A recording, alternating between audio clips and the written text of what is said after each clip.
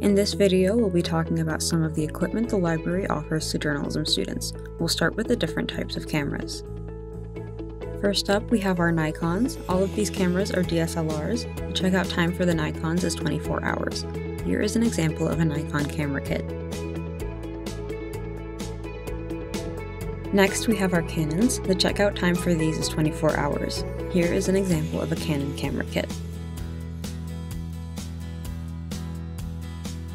Next, we have our GoPro kits. All of these kits come with the accessories shown here. The checkout time for our GoPro cameras is 24 hours. Lastly, we have our Canon Vixia kits. This is an example of a kit, and the checkout time for our Vixia kits is 24 hours. First up is our regular size tripod, which comes with the tripod shoe. We also have a slightly smaller tripod and it's easier to travel with. Both of these tripods check out for 24 hours. We have several different types of microphones available in the library. First, we have our lav mics, and this is a lav mic kit. The kit checks out for 24 hours.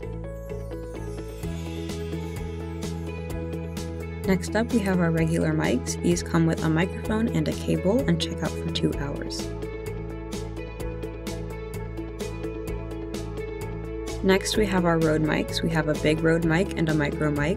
The checkout time for both is 24 hours.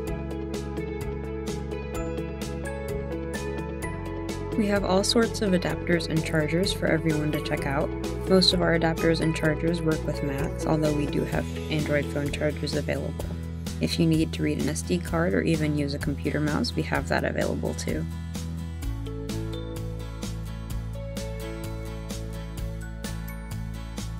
Over here are our HDMI cords and headphones, wireless and Bluetooth. Checkout times may vary but can be extended.